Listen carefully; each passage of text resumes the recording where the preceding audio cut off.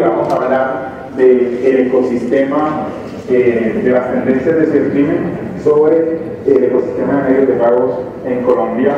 Eh, y esa es un poco la, eh, agenda que vamos a cubrir. ¿Cómo luce el ecosistema en Colombia? ¿Cuál es el panorama de amenazas que nosotros en LUM Technologies estamos viendo y estamos monitoreando? ¿Y cómo nos podemos anticipar a esa, a esa problemática? Empecemos por el ecosistema. Es, es imposible hablar del panorama de amenazas si no entendemos eh, el ecosistema. Cuando uno mira el ecosistema de medios de pago en, Colombia, eh, lo primero, y eso seguramente ustedes lo tienen súper claro, lo primero que vemos es que el ecosistema está cada vez más conectado. Y están los, los sensores, los adquirientes, eh, los e-retailers, los retailers físicos, las cajas en las que uno vaya un pago, obviamente el usuario final es parte del, del ecosistema. La gran conclusión de eso es que cada vez el ecosistema es más compacto, está más conectado. ¿Y qué hace? ¿Cuál es el, el, el, aprendizaje de eso? El aprendizaje es que algo que ocurra en cualquiera de estos elementos del ecosistema, en cualquiera de los elementos del ecosistema, se refleja inmediatamente en el ecosistema completo. Eso es finalmente el resultado de tener un ecosistema más conectado. Por eso instituciones financieras probablemente van, a ver que sus cifras de fraude están creciendo. Probablemente cuando hacen el análisis interno, dicen, pero ¿qué pasó? Si mis controles eh, siguen iguales o estoy adicionando más controles, pues simplemente pasó que alguno de los eh, actores del ecosistema fue comprometido y ese compromiso se reflejó en el resto del ecosistema. Esa es la realidad que estamos viviendo y es una realidad que estamos viviendo no solamente en Colombia, sino en el mundo eh, entero. Eh, ahora, entendamos el ecosistema en cifras ¿no? y entendamos el ecosistema desde el punto de vista de por qué ese aprendizaje de que un ecosistema conectado hace que un problema en cualquier elemento del ecosistema se refleje en el ecosistema completo, eh, ¿por qué se está dando? Estos son datos particulares de Colombia. Durante el 2021 se registraron más de 11 mil millones de transacciones.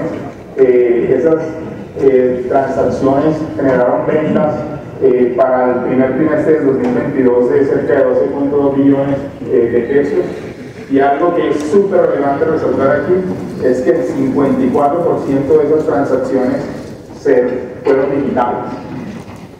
El 54% de esas transacciones ocurrió en el ecosistema ese interconectado. Eso representó un 47.6% de incremento eh, contra el mismo periodo del 2021 y al mismo tiempo el incremento de ataques cibernéticos al ecosistema como tal incrementó en un 138%.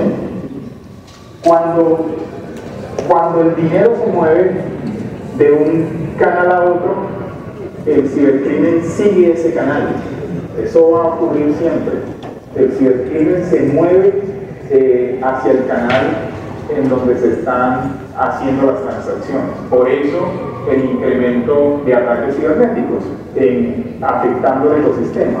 Porque hoy eh, la mayor cantidad de transacciones son transacciones eh, en canales digitales, en consecuencia, eh, tiene toda la lógica del mundo, es negocio para el cibercriminal operar y lanzar ataques afectando ese ecosistema. Veamos ahora sí entonces el panorama de amenazas afectando el, ecosistema. Y lo primero que que quiero compartir aquí es esta, este blog. Este blog eh, lo lanzó Jeffrey Witt. Jeffrey Witt es el CTO del Moon Technology. Jeffrey es un ex NASA, ex Department of Justice, eh, eh, es CISA, que es la agencia de, de, ciberseguridad e infraestructura en Estados Unidos, y se unió al Technologies a ayudarnos a que todas las organizaciones puedan operar ciberseguridad eh, de forma eficiente. Jeffrey en ese blog, y ahí está el QR para que lo puedan eh, ver en detalle después de esta charla, en ese blog Jeffrey habla de los ataques del reto que tienen las organizaciones de ciberseguridad en el sector financiero eh, y el ecosistema completo alrededor del ecosistema financiero. Y esos retos van en que hoy por hoy tenemos eh, cibercriminales mucho más motivados, extremadamente motivados. Esos cibercriminales son organizaciones que tienen estructuras complejas y que dedican cientos de millones de dólares a, investigación y desarrollo para hacer ingeniería reversa sobre las aplicaciones y o los portales transaccionales que ustedes tienen. Identificar esas vulnerabilidades, monetizar esas vulnerabilidades y monetizarlas de forma masiva. Esa es la realidad del adversario con el que nos estamos encontrando hoy. Cuando una organización implementa un control de ciberseguridad sobre un canal transaccional, lo primero que tiene que asumir es que ese control va a empezar a ser obsoleto en los próximos meses. El mindset sobre el cual nosotros implementamos protección a nuestros canales transaccionales debe cambiar. De ese mindset en el que coloco controles transaccionales y asumo que el cibercriminal se va a comprar un carro y va a hacer Uber y va a dejar de hacer ataques cibernéticos. Eso no pasa. El cibercriminal lo que va a hacer es dedicar más recursos para hacer bypass de esos controles cibernéticos que se han implementado. Entonces, una estrategia de prevención de fraude coherente y consistente con la realidad del mundo de hoy tiene que tener ese mindset. Cada control de ciberseguridad que yo coloco, eh, tengo que asumir que va a ser obsoleto en los próximos tres meses, en un mundo en que cada vez se está moviendo más rápido. Entonces, un control de ciberseguridad lo que debe generar es la necesidad de empezar a pensar de forma, de forma adversaria para validar cómo el cibercriminal lo va a bypassear, de forma tal que tenga el tiempo para lanzar la siguiente capacidad de prevención que logra siempre mantener al atacante afuera. Ciberseguridad resulta ser el mayor riesgo eh, que tienen las eh, instituciones financieras sin importar el país. Esta es la realidad eh, que estamos viendo. Si, miran dentro de los diferentes, dentro de las diferentes eh, regiones en Latinoamérica, Centroamérica, México, Sudamérica Andina, que es donde está Colombia, Sudamérica Sur, el resto de Sudamérica, donde está Chile, Argentina, Bolivia, etc. En todos es consistente con que ciberseguridad e integridad de los datos es el riesgo más grande que afecta al ecosistema eh, financiero. Y vamos a ver un poco por qué está pasando eso. Un mundo eh, tan interconectado desde el punto de vista de eh, medios de pago requiere para que siga creciendo a la velocidad que está creciendo que los consumidores se sientan seguros. Y yo creo que en la mañana las primeras dos charlas estuvieron enfocadas eh, en ese sentido. Eh, es algo que la industria financiera está haciendo cada vez más consciente. De hecho, vemos ejemplos de instituciones financieras muy preocupadas por cómo el consumidor eh, ve sus canales transaccionales y protege sus canales transaccionales e inclusive entregan capacidades de ciberseguridad para que esas instituciones eh, se protejan. Banco Santander, por ejemplo, en España eh, creó una alianza eh, con Lumo Technologies para entregarle a todos sus clientes B2B capacidades de detección de compromiso dentro de esas empresas, dentro de esas pymes, que les permitan identificar si hay compromiso cibernético dentro de esas organizaciones. ¿Por qué creen que lo hacen? Eh, no porque Banco Santander quiera eh, pagar esos servicios eh, y, y, simplemente gastarse ese dinero, no, lo hacen porque eso le permite, esa inversión se le genera reducción en el proceso de gestión de fraude al interior. Hay menos fraude, en consecuencia mi equipo de gestión de fraude va a ser más eficiente. Entonces ese tipo de iniciativas las estamos viendo ocurrir en el, en el sector financiero de forma masiva. Algo similar vamos a anunciar eh, hoy aquí. Eh, eh, el incremento en un ecosistema que está súper conectado o hiperconectado, el riesgo de la cadena de suministro se vuelve real. si uno mira cómo operaba el esquema anteriormente, uno mira al banco con apps propietarias y clientes que se conectaban al banco a esas apps propietarias que vemos aquí.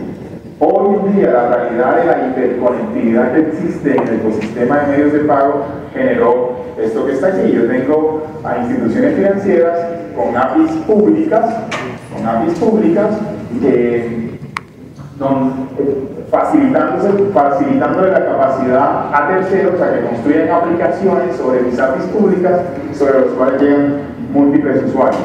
¿El resultado de eso cuál fue? El resultado de eso simplemente es que mi superficie de ataque se incrementó masivamente y en el 90% de los casos no la conozco.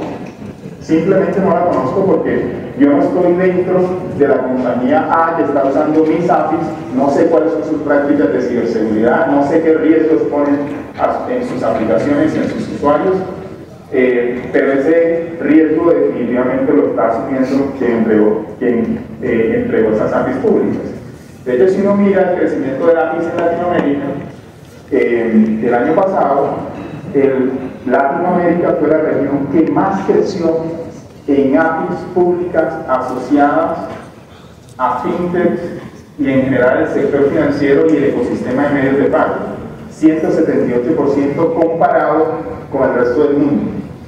Y en ese mismo periodo de tiempo, en Lumo detectamos más de 9.000 ataques afectando, más de 9.000 millones de ataques afectando a esas APIs públicas que se generaron o que se crearon eh, en Latinoamérica. Esa es la realidad, eso no va a cambiar, eso va a seguir creciendo, de hecho si algo se va a poner más complejo eh, por la velocidad a la que seguimos creciendo, por la competencia que existe entre los actores del ecosistema, por crear funcionalidad, por disminuir fricción en, en el uso de canales transaccionales, etc.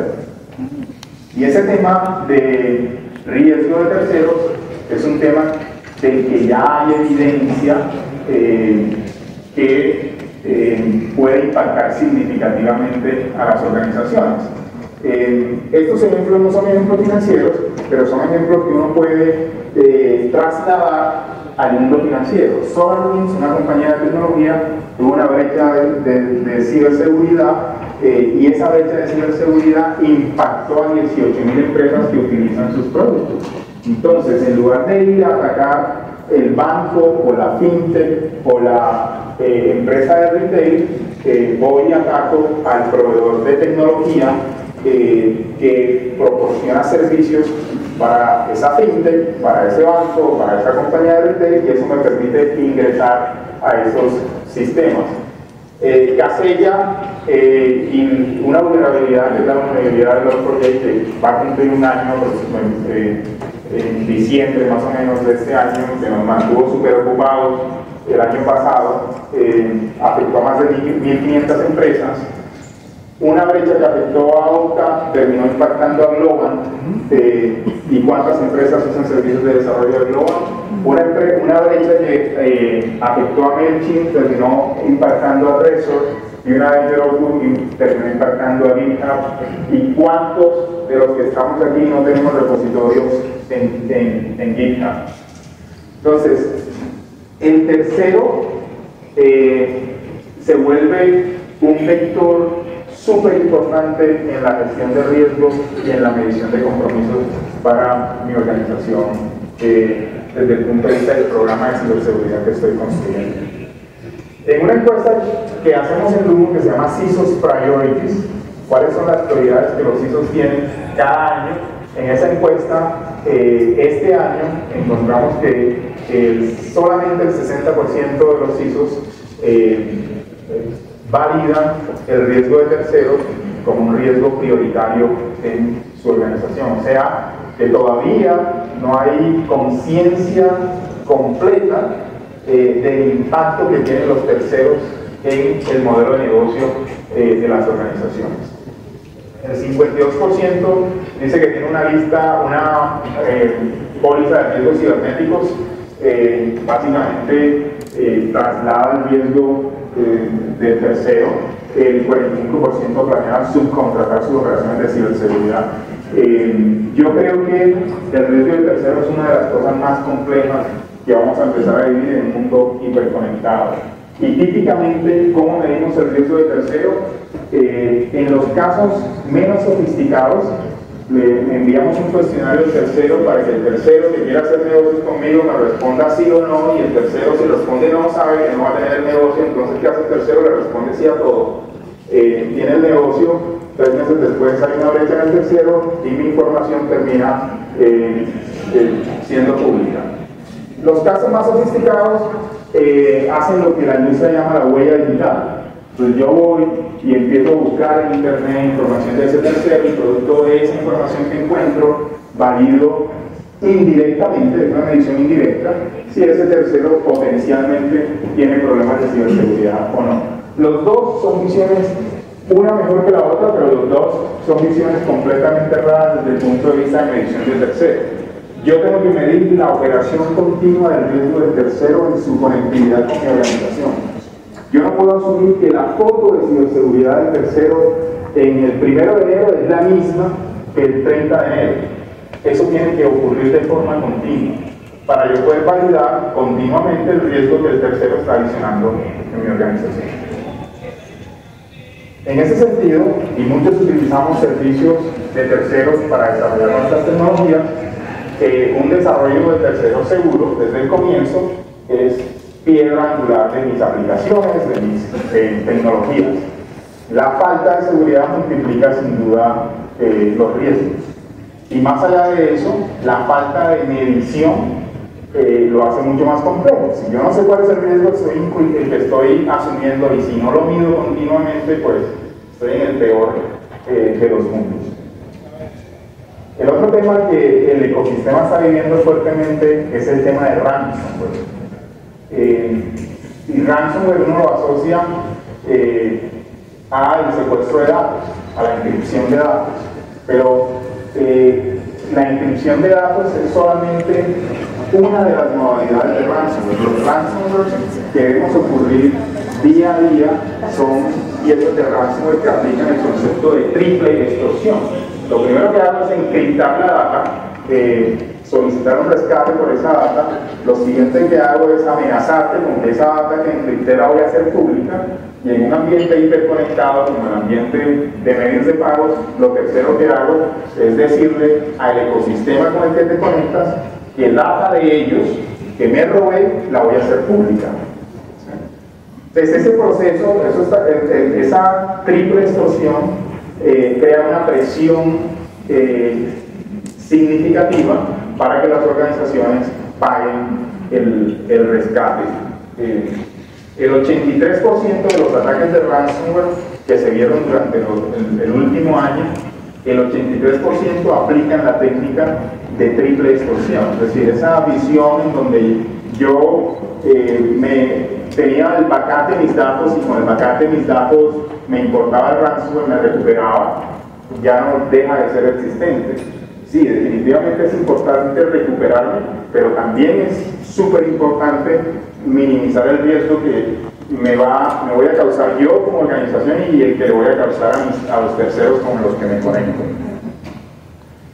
Nosotros en Lumu hacemos todos los años eh, un estudio que se llama el ransomware flashcard y en ese QR code ustedes pueden obtener el reporte completo. El resultado de la última versión del ransomware flashcard con toda la data que recolectamos de los más de 3.700 clientes que utilizan Lumo Technology encontró eh, resultados súper interesantes como que eh, más organizaciones están pagando rescates y eso le está diciendo al cibercriminal que hay un negocio, en consecuencia, más ataques de ransomware están, ocurriendo y ustedes lo ven año tras año. Eh, y eso hace que más organizaciones sigan pagando el rescate. Eso Lumo lo llama el círculo vicioso del ransomware. Y hay algo súper importante que van a encontrar en este reporte y es que el ransomware no ocurre de la nada. Uno como operador de ciberseguridad tiende a pensar que un día estoy bien y al otro día hay un incidente de ransomware. Eso no ocurre de esa forma. El cibercriminal está dentro de la red típicamente entre 3 y 6 meses antes de que el ataque de ransomware ocurra. Eh, es decir, hay tiempo suficiente para que yo pueda detectar que hay un adversario dentro de mi red, lo eh, saque de la organización y me proteja del ataque de ransomware. Y ese reporte, eh, cuando lo vean detalladamente, tiene algo que se llama precursores de ransomware. ¿Cuáles son los precursores de ransomware? Son contactos que se ven en las redes de las organizaciones que permiten impedir que haya un adversario que está adentro moviéndose dentro de la organización para posteriormente eh, ejecutar el ataque de ransomware. Lo decía en, un par de láminas atrás, solamente el 17% de los ataques de ransomware fueron ataques de inscripción. El resto, los 83 restantes, fueron ataques que implementaron la técnica de triple extorsión. Lo que podemos asumir hoy en día es que si hay un ataque de ransomware que se materializa en alguna de las redes de las compañías que estamos aquí, va a ser un ataque de triple extorsión. Los atacantes son extremadamente oportunistas. Ese es otro de, las cosas que vemos en el panorama de, de riesgos eh, del ecosistema de pago. Eh, un ecosistema en donde cada vez hay actores más pequeños. Fintechs creciendo significativamente. Una fintech es una empresa entre, es una realmente pequeña, una, microempresa, típicamente así nacen todas las fintechs, así nacemos todas las son, es una empresa pequeña, es una empresa que tiene entre 1 y 25 empleados eh, y obviamente le cuesta trabajo tener talento para protegerse eficientemente. El 94% de las empresas eh, eh, pequeñas tienen problemas para obtener recursos calificados de ciberseguridad, porque los recursos de ciberseguridad nos los estamos pidiendo todos en el mercado. Eh, y el 70% de esas empresas pequeñas, después de una brecha de ciberseguridad, terminan quebrándose eh, finalmente. Eh, ¿Qué problema representa esto? En, en, una, en un mundo en donde ese tipo de empresas están creciendo significativamente y, están, y forman parte del ecosistema de pagos, en el 2021 hay 2.422 fintechs solamente en Latinoamérica. Eso genera un... Y conectando esto con, eh, con el riesgo de terceros, eso genera una preocupación eh, muy grande. Esa es la distribución de esas fintechs y el crecimiento de esas fintechs eh, en Latinoamérica. Genera una preocupación muy grande porque uno de los grandes problemas que afectan a las organizaciones es falta de visibilidad en los ataques que estoy enfrentando. Yo no puedo proteger lo que no sé que me está pasando. Yo no puedo curarme de una enfermedad que no sé. Yo no puedo proteger mi organización de algo que no sé que, está eh, ocurriendo. Eh, y eso pasa muchísimo en ambientes de IoT, eh, los ambientes de IoT que tienen que cada vez crecen dentro de las organizaciones, dentro de, de los retailers. Y lo otro que está pasando es la carrera por tener funcionalidad rápida. Y esa carrera por tener funcionalidad rápida me lleva a la nube. No tengo visibilidad en los ambientes de IoT y en los ambientes de trabajo remoto de las organizaciones y tengo muy poca visibilidad o nada en los, en los ambientes de nube. Esta gráfica que están viendo muestra que el 70% de la arquitectura tecnológica que utiliza el ecosistema de medios de pago es infraestructura que está en la nube. ¿Por qué? Porque es muchísimo más rápido. Si uno se, va a ver hace 30 años o hace 20 años, eh, crear una, un sitio transaccional implicaba ir, comprar unos servidores físicos, que llegaran los servidores físicos, comprar unos enlaces de internet, y eso se demoraba meses Hoy yo le paso la tarjeta de crédito a AWS, a GCP o a Azure y tengo eso en minutos. Y eso está fantástico. El problema es que no necesariamente eso eh, tiene las capacidades de ciberseguridad que se requieren para proteger efectivamente lo que está corriendo dentro de esos ambientes. Visibilidad es súper, súper importante. Y no solamente esto está afectando fintechs, esto está afectando también eh, bancos eh, y todos los otros actores del ecosistema que nos estamos moviendo aceleradamente a la nube, lo cual de vuelta está fantástico, hay que tener el mindset de visibilidad de las amenazas. Esa es la arquitectura tecnológica típica de una, eh, de una startup que nace hoy. Una startup que nace hoy típicamente tiene eh, unos flujos de trabajo que están ocurriendo en la nube para velocidad de despliegue de la tecnología, eh, un ecosistema tecnológico que también está en la nube y unos colaboradores remotos que están trabajando desde redes desprotegidas conectándose a esos sistemas. Es la combinación perfecta para que desastres ocurran. Eh, cuando no hay las capacidades de protección o de visibilidad dentro de esos ambientes. Nosotros, y les he compartido bastante información de los estudios que hacemos en Lumo, hacemos este otro estudio es un flashcard de compromiso cibernético. Este estudio les muestra nuevamente dentro de las más de 3.000 compañías que utilizan Lumo en su día a día, eh, cuál es la forma que utiliza el cibercriminal para entrar dentro de las redes de las organizaciones. Y aquí están los tres eh, primeros, el top 3 de las familias de malware de ataques que vemos afectando a las organizaciones. Configure, una pieza de malware de hace más de 15 años probablemente, todavía súper activa. Nercus, eh, si ustedes ven eso en sus redes, hay acceso eh, remoto a su infraestructura o hay intento de acceso remoto en su infraestructura, eh, lo mejor es eliminar esos contactos. Así acceden los cibercriminales a las eh, organizaciones. En ese estudio van a ver ese análisis dividido por tipos de empresas. Empresas grandes, cómo las organizaciones, cómo los cibercriminales entran en empresas pequeñas y cómo entran en empresas grandes.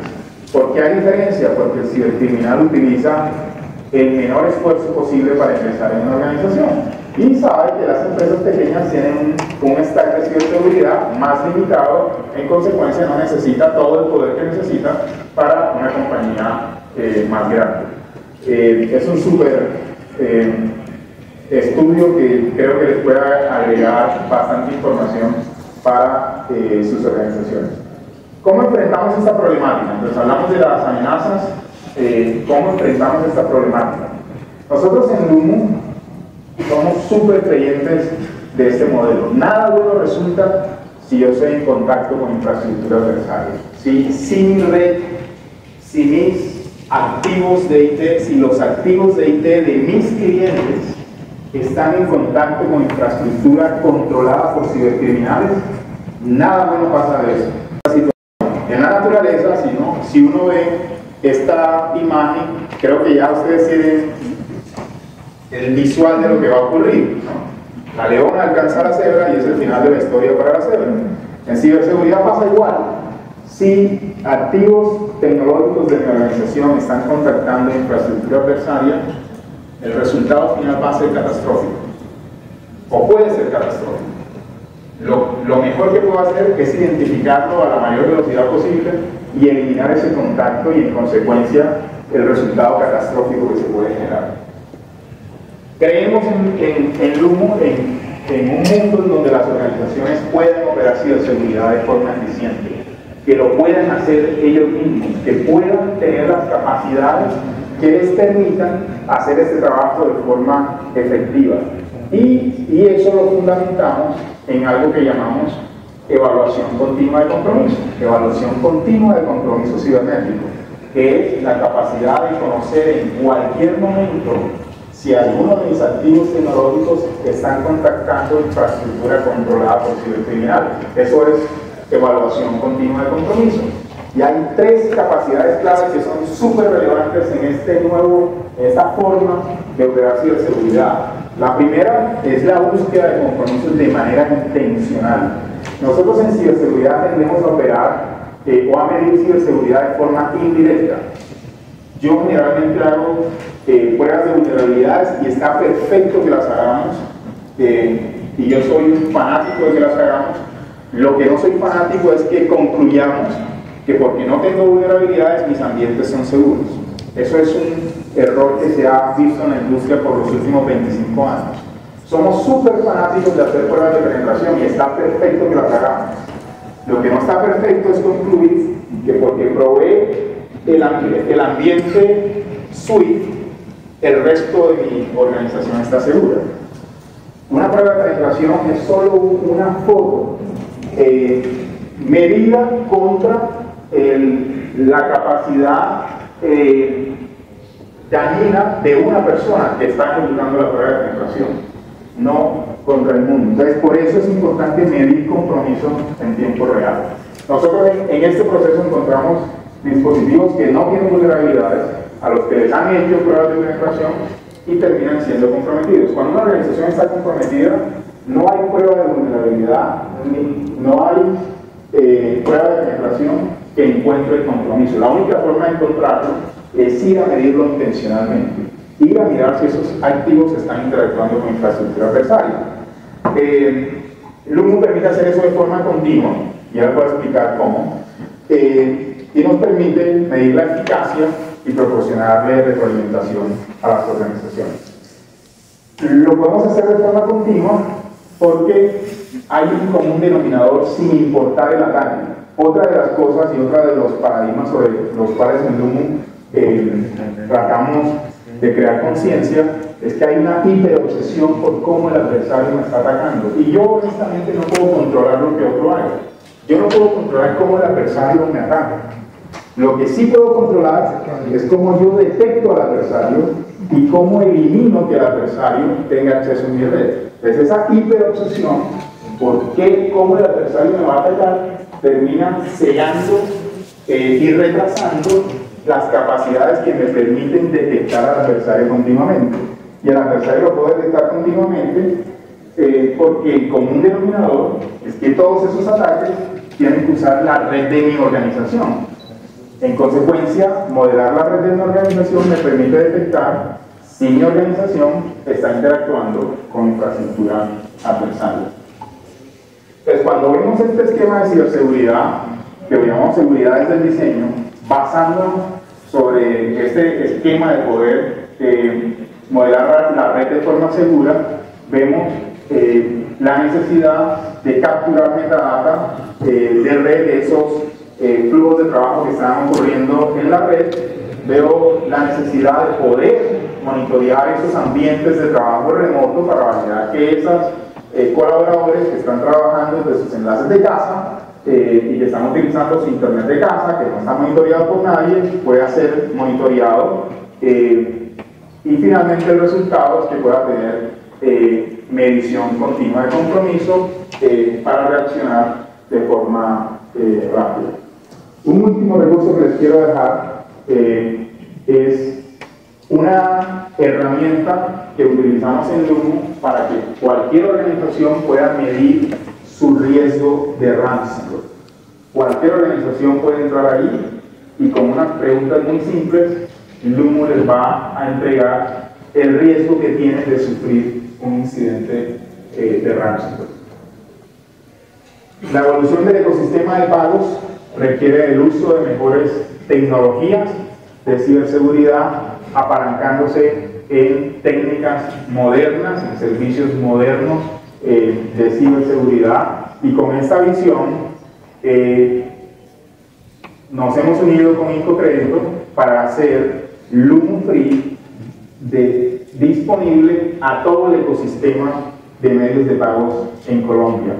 Una alianza similar como la que hicimos con Santander en España, la estamos haciendo ahora con Incocrédito. Muchas gracias eh, Roberto, esperamos que esto pueda ser de muchísima ayuda al ecosistema de medios de pago eh, en Colombia. Queremos seguir expandiendo este tipo de alianzas por Latinoamérica. ¿Cuál es el objetivo? El objetivo es poder en ese ecosistema hiperconectado, poder, ojalá en la siguiente eh, reunión de Icocrédito en un año, entregar estadísticas específicas de ataques afectando el ecosistema de medios de pago y que el ecosistema de medios de pago pueda retroalimentarse entre sí para que tanto los actores grandes del ecosistema como los más pequeños del ecosistema tengan la misma posibilidad de defenderse porque finalmente eso le entrega seguridad y confianza al usuario final que es finalmente el que permite que todos estemos aquí.